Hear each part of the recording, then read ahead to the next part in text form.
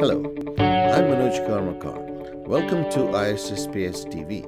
If you like any of our videos, do remember to click the like and share button. If you are new to this channel, do remember to subscribe so that you can get regular notifications of any future uploads. Now, uh, now that we are able to uh, perform uh, neuraxial uh, scanning, let's look at uh, how we can use it to perform interventions.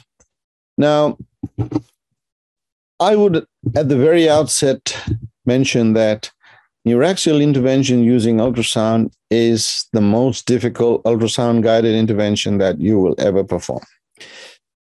So you can't become an expert doing just 10, 15 blocks like you can do with brachial plexus.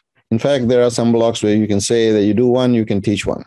But this is a learning process that will evolve over many years with experience. But by paying attention to what I'm going to say in the next 25, 30 minutes, I'm sure it'll cut your journey down to try and do this intervention more objectively because we have learned it the hard way and we do uh, we've been doing this for many years now more than 15 years if you may so again, I have no conflict of interest whatsoever relating to this presentation. Now, when you look at real-time ultrasound guidance for central neuraxial blocks, the question really is, okay, I don't really don't deserve to stand next to them.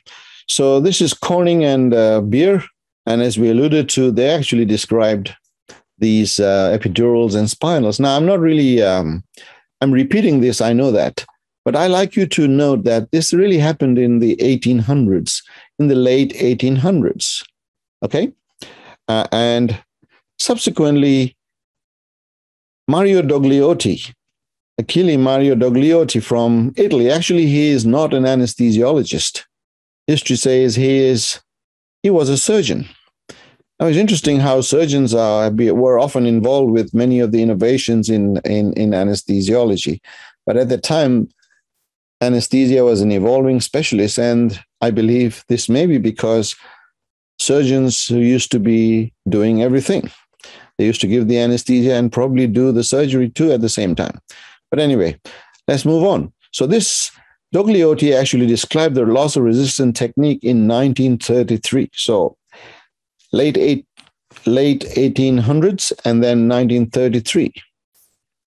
So that's very relevant.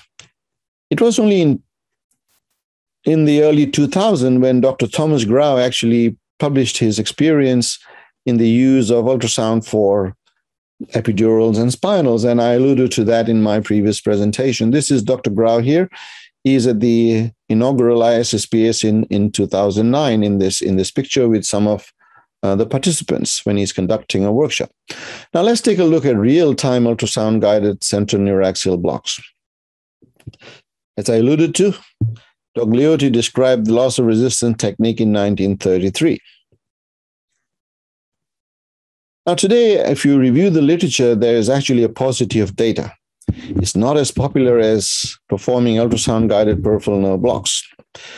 Nevertheless, several different techniques have been described in the literature in the sitting position, lateral position, prone position, in plane, out of plane, non dependent, dependent, etc., in needle insertion.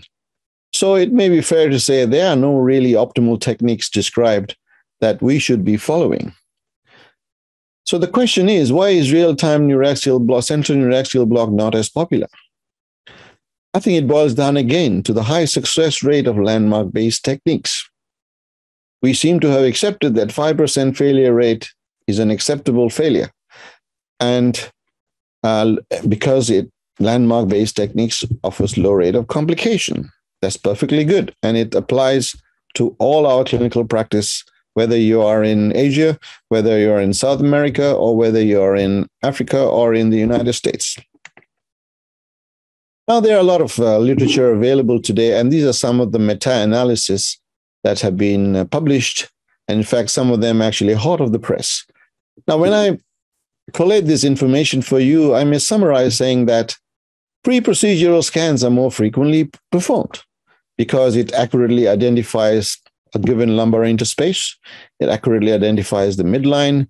It allows to predict the depth to the dura. Uh, a pre-procedural scan in some literature indicates that it reduces the needle punctures and increases the first pass success. But there are also data which says that randomized and good quality data that says that it may not actually improve technical success or increase the first pass success. It's these are more relevant when you look at difficult patients. This is where the importance of ultrasound is when you have a difficult spine or an obese. So if you're looking at a young individual, whether you do it landmark or with ultrasound, it probably does not make a difference. But when you are having a difficult spine, that's where it usually will make a difference. And as I alluded to, a pre-procedural scan prior to your landmark-based technique may reduce the incidence of um, bloody tap or even postpartum headache and backache. Now, this is another uh, study comparing landmark versus procedure, pre-procedural ultrasound for neuraxial intervention as a systematic review. And these investigators in a non-obstetric population showed that actually it did not enhance the first pass success and increase the total time that it takes. So that means it doesn't improve success, but it actually increases the time. But they were very generous in mentioning that this there is an increase which is statistically significant, but it clinically is not relevant. It's only about four or five minutes difference. Now, this is another study by Dr. Elsharkawy from the Cleveland Clinic. I wouldn't rate this study very high, but one of the results that came out of this randomized study comparing landmark versus real time, and in fact, this may be the first study which compared real time versus landmark, is that the operators rated these real time interventions more difficult than the land than the than the landmark technique. That means ultrasound guided procedures were more difficult to perform. But then some of these operators had only done, and as per the paper, had only done about 10 or had done a minimum of 10 before they embarked on the study. Now it's time for reflection. So I think some of the data goes either way. You can make a cause for using it, you may make a cause not for using. I'm not here to try and convince you that you should be using it all the time. But I would say, what would you do when you have a patient like so? Today is not the forum when we are going to say, what do you do when you have a scoliotic patient? We will do that in one of the later, later webinars, probably the third or fourth webinar. So stay tuned. But I think these are patients that are truly challenging in our clinical practice. We have described real time ultrasound guided epidurals uh, as a single with a single operator uh, as early as 2009. The same techniques been adopted by Dr. Chin and their group to perform spinal injection, and they successfully showed in these uh, two case reports that successful dural puncture was possible performing real-time ultrasound-guided spinal in these difficult patients. As you can see here, this looks like an elderly individual who's in the sitting position with some uh, scoliosis with the present, and they performed the spinal injection after landmark based was difficult. As you can see here, Dr. Chin shows patient performing a paramedian sagittal scan with a with a spinal needle. It's in the sitting position, and the needle is from the dependent side. As I alluded to before, this is the spinal laminar view, and Dr. Conroy and their group use this report where they performed about 100 and the success rate was 97%.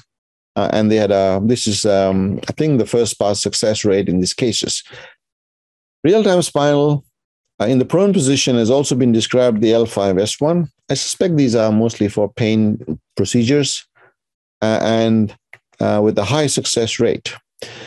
They, this study actually comprised of cadaveric dissection in uh, five in five cadavers where they performed the L5 or the Taylor approach. which was described by Dr. Taylor or Mr. Taylor, uh, somewhere in the Midlands of England many years ago, performing spinals to the L5S1. And then uh, in about 10 individuals, they perform real time spinal injections or the Taylor approach uh, in 10 individuals with great success. Um, needle guidance using the Sono GPS or needle GPS guided uh, techniques have also been described in the literature. Now, while these are appear to be useful, but they are very complicated, complex in the sense that you need extra equipment, extra special type of needles, longer spinal needles, because you need a magnetic sensor and a magnetic um, receiver uh, for the magnetic field, and then you magnetize the tip. The needle is then advanced either in plane or out of plane, and you can guide it to the to the target.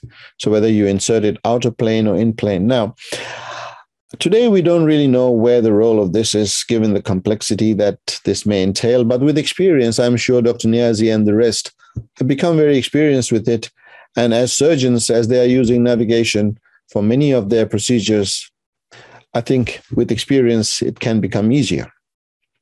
So you can see here, they're showing how you can perform out of plane here, as you can see, or an in plane injection.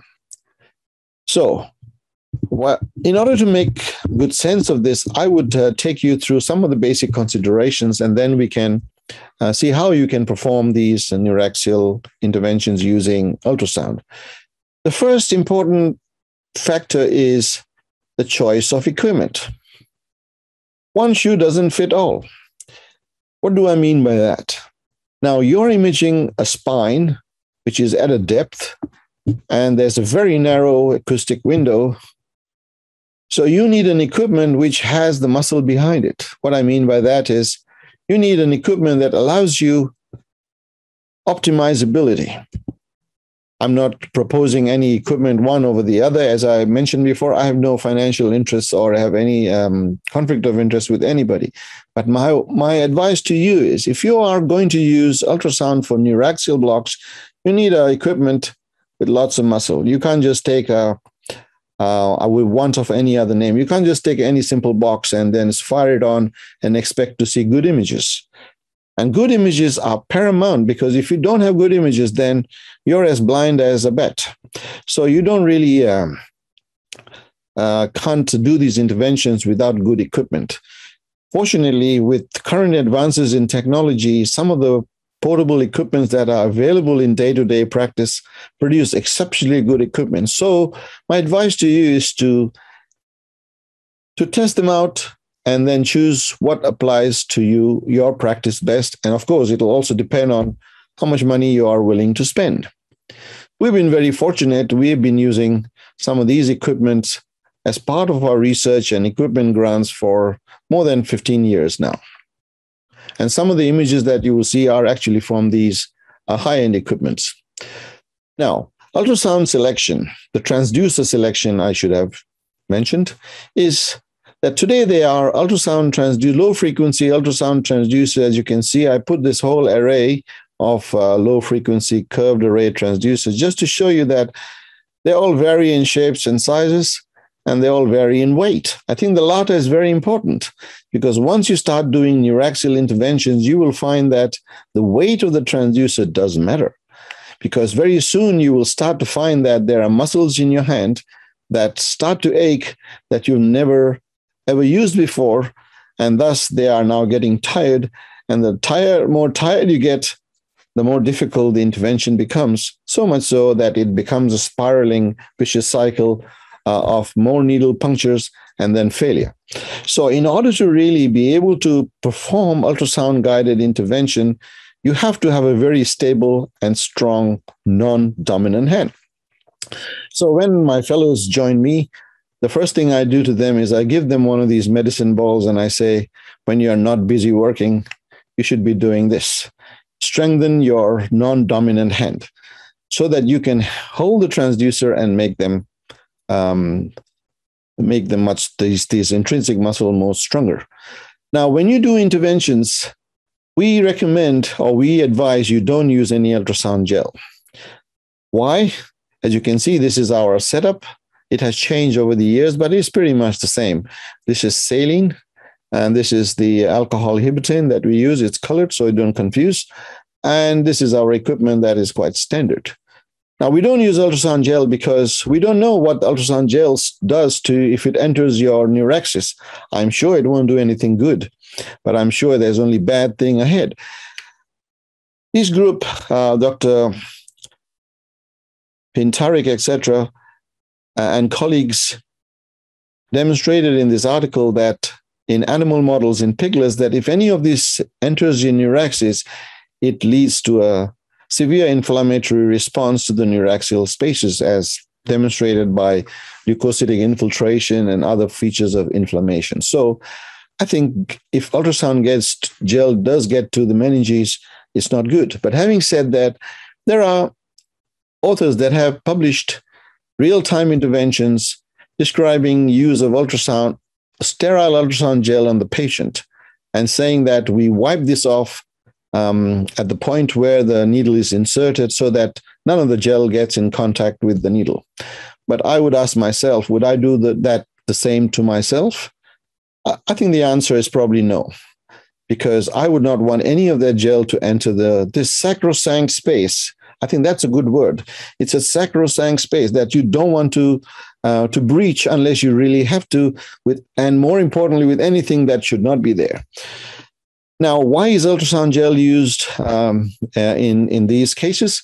Yes, when you don't use ultrasound gel, there is some degradation in the quality of the image. And given that you're doing it often in difficult patients, it also becomes quite difficult to visualize the image. We have found that just applying saline to the back and keeping this, the, the back moist uh, does help. Uh, and then all you need to do is just maybe crank up the gain or the uh, or the dynamic range in the uh, sorry the um, time gain compensation in the area of interest and you can usually overcome this. So we use normal saline uh, as an alternative coupling agent and over the years we've had no issues uh, of using it. And the more you use it the more you become familiar with it. Next is positioning and ergonomics is very important. If you position a patient wrong or you place it in a slightly wrong ergonomics uh, it's actually failure from the get go. So, what do I mean by that? Now, as we alluded to, the paramedian sagittal oblique view gives you the best window. So, this is the paramedian sagittal oblique window with the patient in the lateral position. Now, this is me. I'm right handed. So, I'm using my left hand to perform the scan. So I usually position all my patient in the left lateral position so that I can use my non-dominant hand to perform the scan and then introduce my needle in plane from the caudal end towards the target interlamellar space. You can also position the patient supine, as you can uh, uh, sitting in the sitting position. This is uh, don't worry about the needle insertion here. We are doing a transverse scan, and the patient is in the lateral position. The machine is positioned right in front of me, so that I can directly see the screen. When you're doing in the sitting position, it's uh, for a non for a right hand dominant individual. We usually put it on the left hand side so that you can see uh, the advancement of the needle in real time. When you do position a patient in the lateral decubitus position, it brings into play a non-dominant and a dominant side with respect to the midline and with respect to the neuraxis and the spinal canal. With a, with a right-handed individual like me, I perform the scan with the left hand. So this is the position of the transducer, and the needle is inserted in plane from a caudocranial direction like so. Through the ultrasound image, I will show you using my dominant hand. There are lots of literature showing that if you are a dominant, right hand dominant individual and you use your left hand to perform any intervention, the chances of failure is very, very, very high. So that's, uh, you don't need rocket science to show that. But nevertheless, so pay some attention to how you position your patient and where you um, and how you perform the, uh, the scan and the needle. As you can see here, on the strict aseptic precaution, the patient is in the lateral. We are inserting the epidural needle in uh, the caudal end of the transducer with the right paramedian sagittal oblique view. I will come to that. So the needle would appear somewhat like that, and we guide it to the interlamellar space. For an epidural, we would stop at the level of the ligamentum flavum, or somewhere once it's engaged, and then for a spinal, you advance it till you enter the thecal sac. Yes, it is possible to do it from the non-dependent from the dependent side, because we are doing it from the non-dependent side because it is ergonomically much easier. You perform the scan, it's right at the eye level, and it makes your marrying the needle to the ultrasound plane much easier. When you do it from the dependent side, it becomes more ergonomically difficult from, for, for, for the intervention. Now, this is just to illustrate if you're a right handed individual and you position your patient in the right decubitus lateral position, you are now forced to use your left hand to perform the needle, unless you are a gymnast and you can position yourself in all kind of ways to perform the intervention. But this would not be ideal. So pay some attention to how you position your patient in the lateral position with respect to your handedness. You can perform a transverse interspinous scan, like so.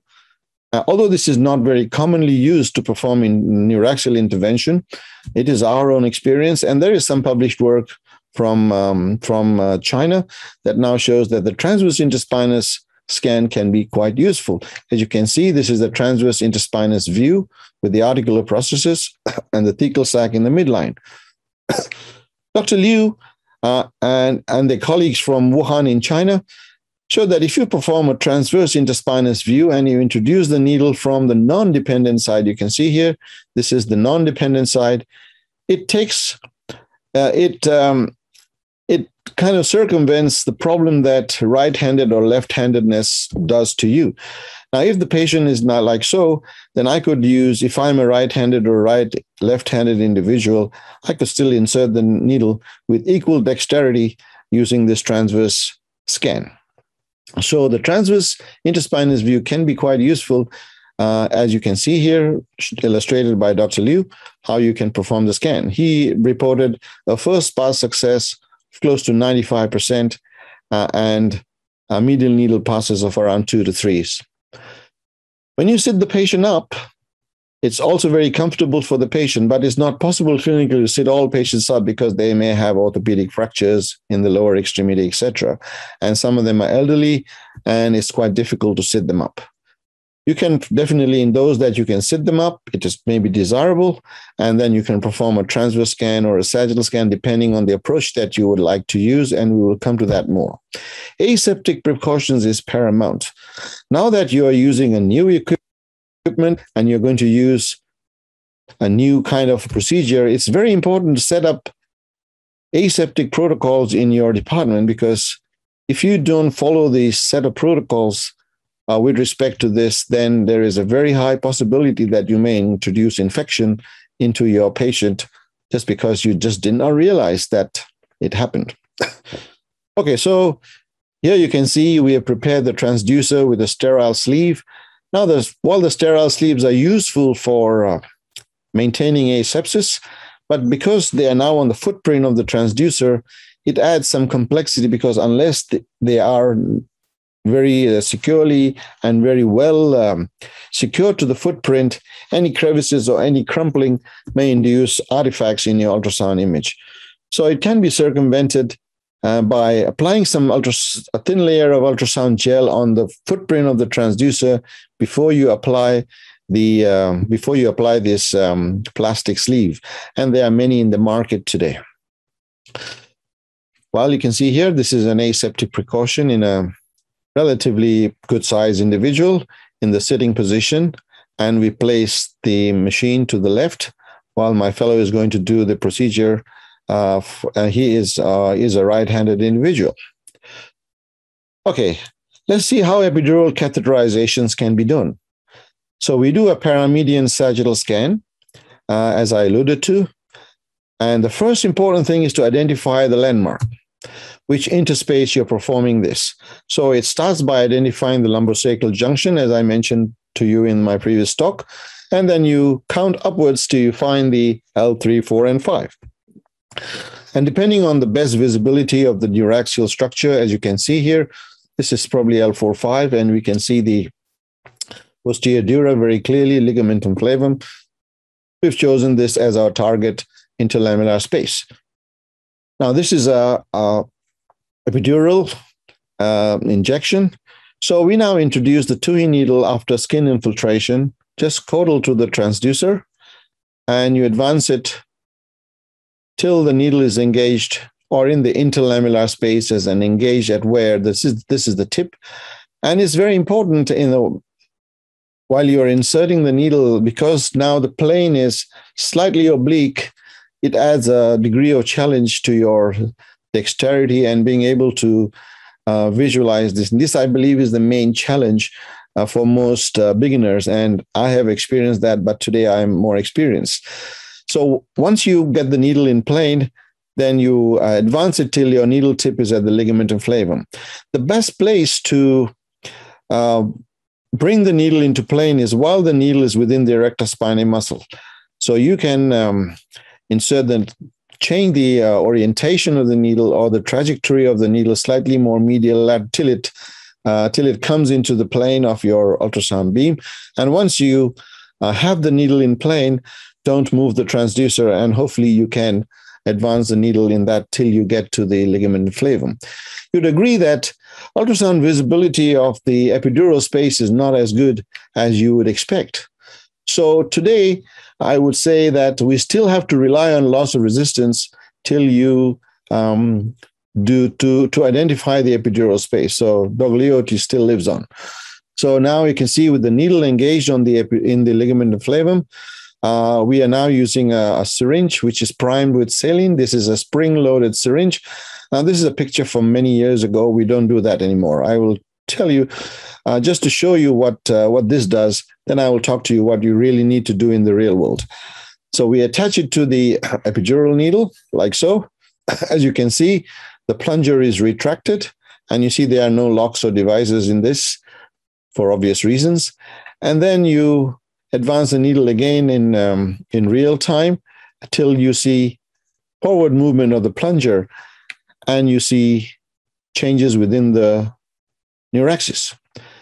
Now, this will loop around, but I like to just mention here that Dogliotti described this in 1933, but these are the first images of what really happens within the neuraxis when you inject normal saline for your loss of resistance. Needless to say, you wouldn't want to use air for your loss of resistance because you're using ultrasound. Look what happens to the dura when you um, when you introduce when you insert the needle. Uh, when you get your at the moment of truth, if I may use that word. Uh, oops, this has frozen okay, it'll hopefully it'll keep looping. You can see that the dura becomes brighter. This is because of post enhancement, and the whole thecal sac gets compressed.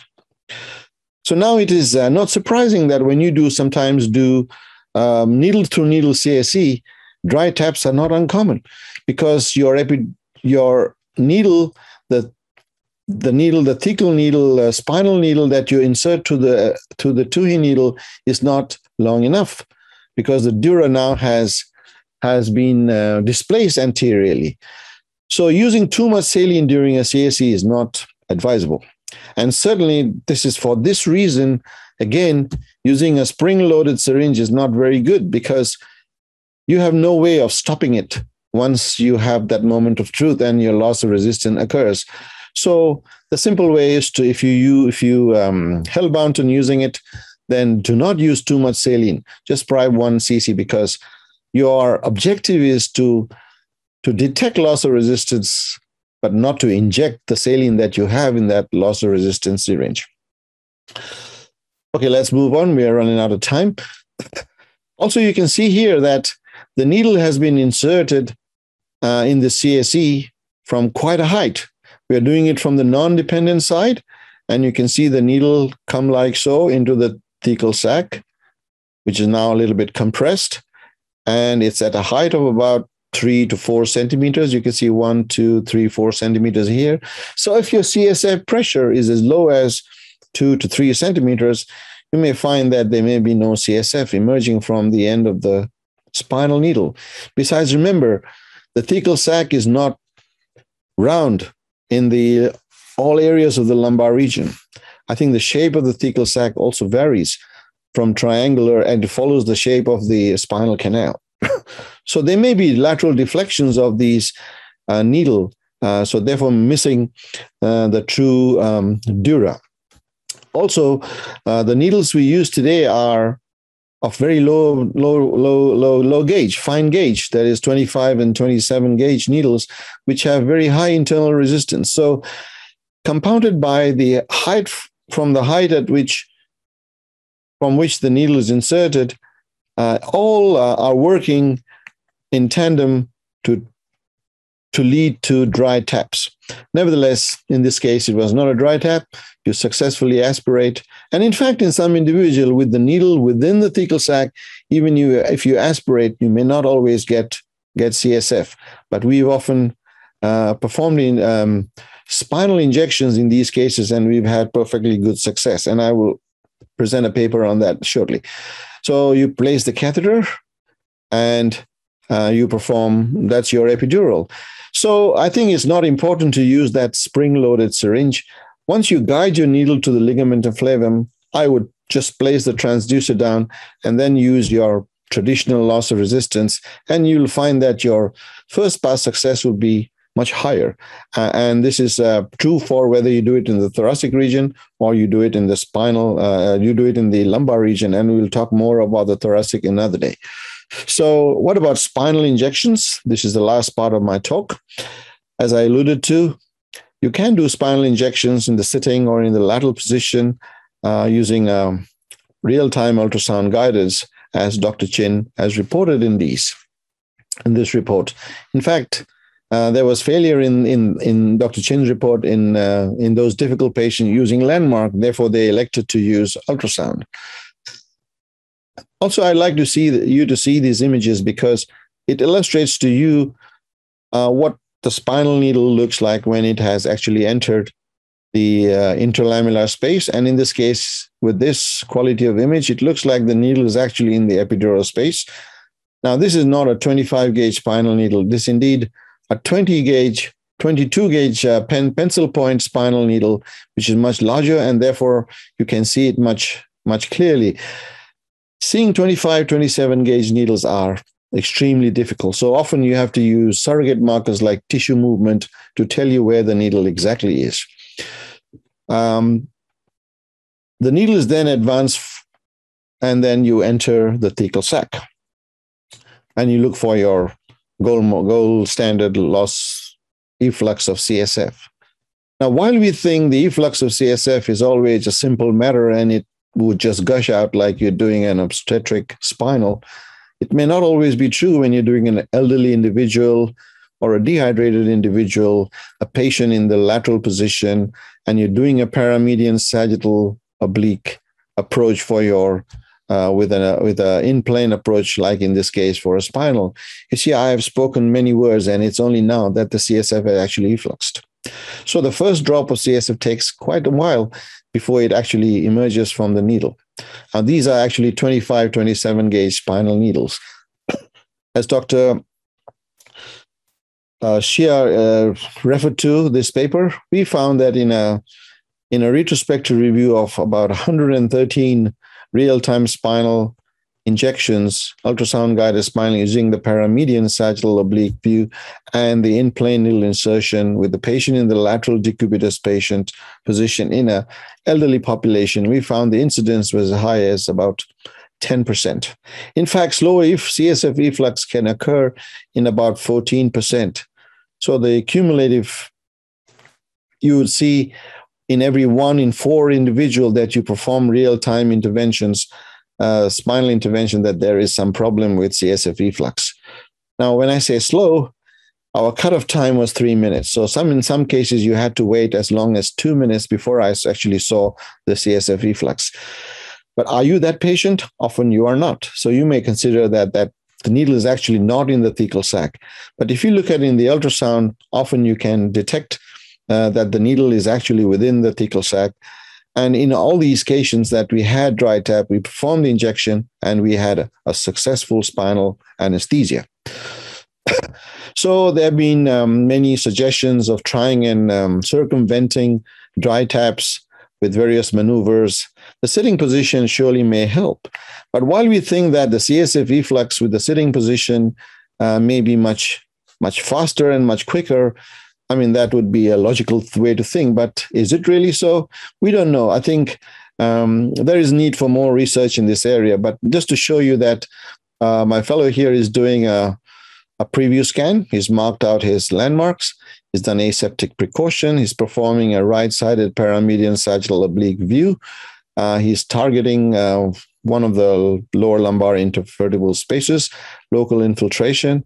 We're now using a introducer needle here. The introducer needle actually acts as a surrogate because it's 20 gauge, often larger than the 25 and 27 gauge spinal needles.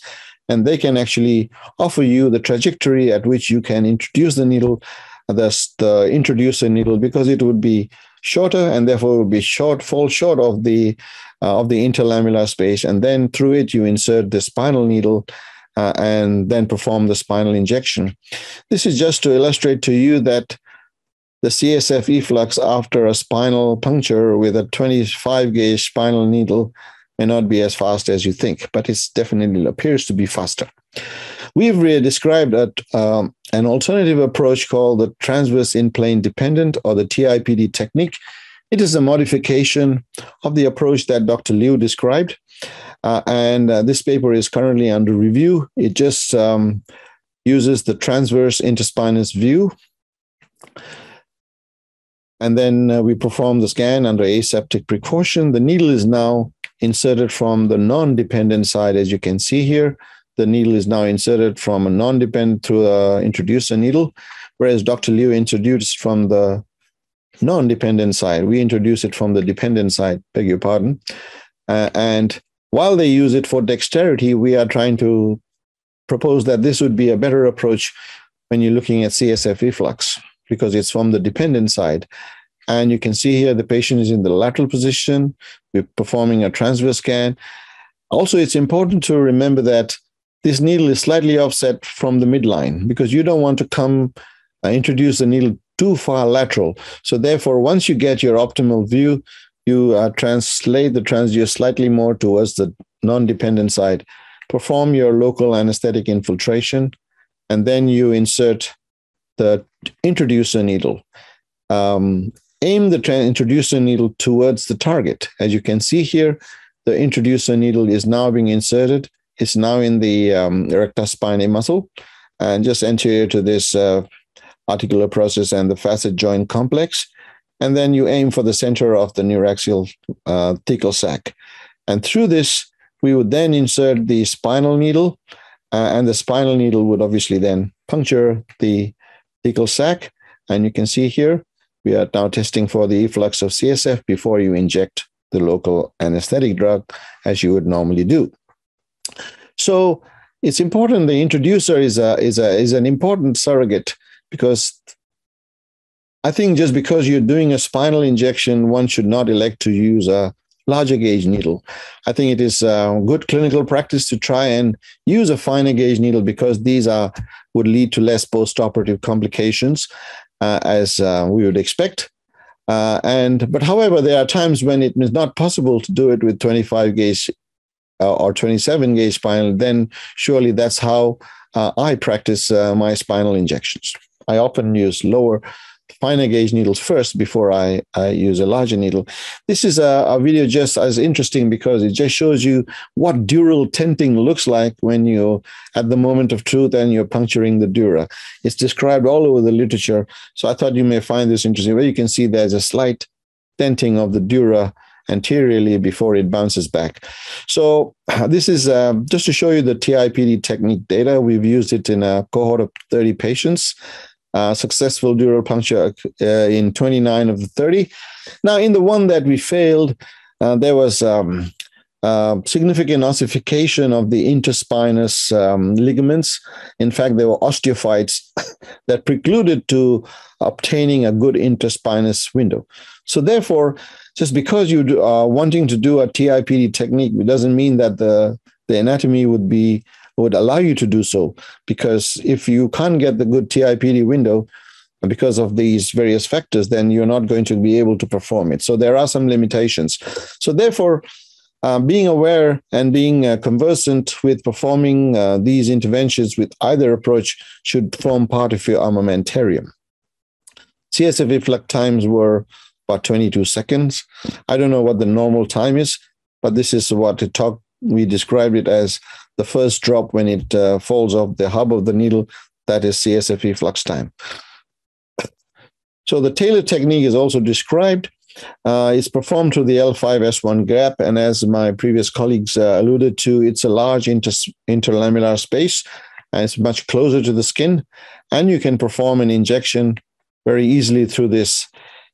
It's also described as the largest interlamellar space. I think I would like um, later on during the Q and A, um, Kenneth and uh, uh Professor Morigal also to comment a little bit as to the relative sizes of the interlamellar spaces. And is it that the L5S1 is the largest? Because it's often described in the literature.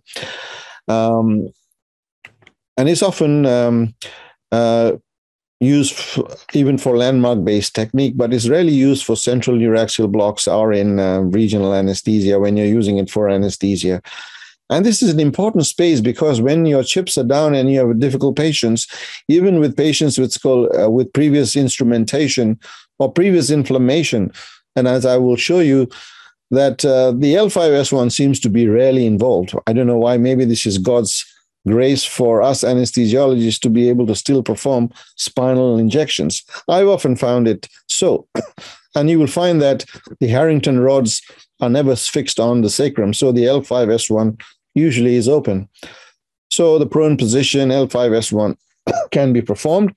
And I showed you these images previously. I won't go back into it. Uh, the L5S1 gap is very easily identifiable. And then you can perform the scan. It's again, the L5S1 space is much closer to the skin. It's just a paramedian sagittal window.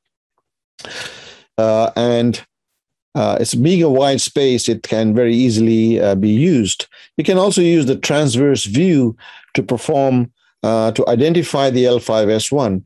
Now, in some individuals, you may not be able to do a paramedian sagittal scan, say for whether they have had laminectomies or they've had previous uh, spine surgery for some reason.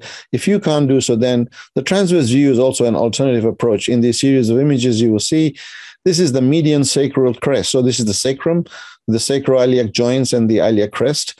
So this is the erector spinae muscle. As you go more proximally uh, or cranially, you will see the sacral image disappears, shadow disappears, and you can see the anterior complex of the L5S1 gap with the lateral pillars of the articular processes. So these are also reflect uh, that the uh, the L5S1 uh, space here with the with the thecal sac, and then you can as you keep continue, you'll see the L5 the L4, 5 interspace, the L4, L3, 4, etc. we uh, actually performed a study where, uh, with this group from um, from Thailand, where we we compared landmark-based palpation of the to the primary outcome was to identify the L4 spinous process, compared to palpation, compared to ultrasound, when we we uh, use fluoroscopy as the gold standard we found that ultrasound was more accurate than palpation, even with using the transverse scan. So this can be a useful alternative if you can't use the sagittal view.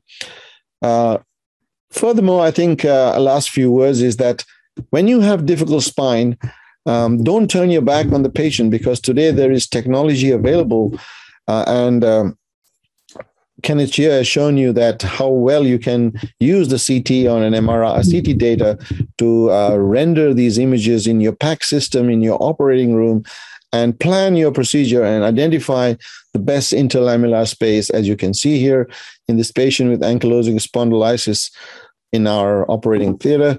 You can see we can uh, identify the L5S1 well, the inflammatory process actually has occluded most of the other uh, interlamellar spaces. So we plan the spinal through this, and this is a real-time ultrasound in this ankylosing spondylitic patient. You can see, voila, the L5S1 just appears here, and the spinal was accurately performed through the L5S1 interspace with success.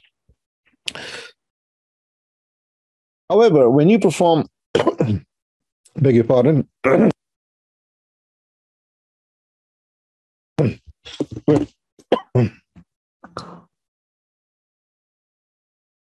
Maybe I've spoken too much.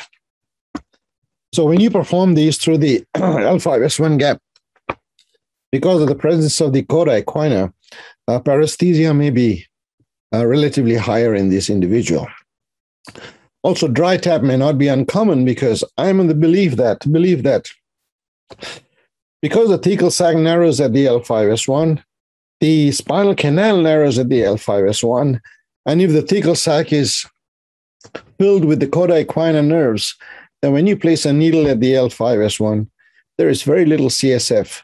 And I also like to hear what the other speakers uh, have to say with respect to this.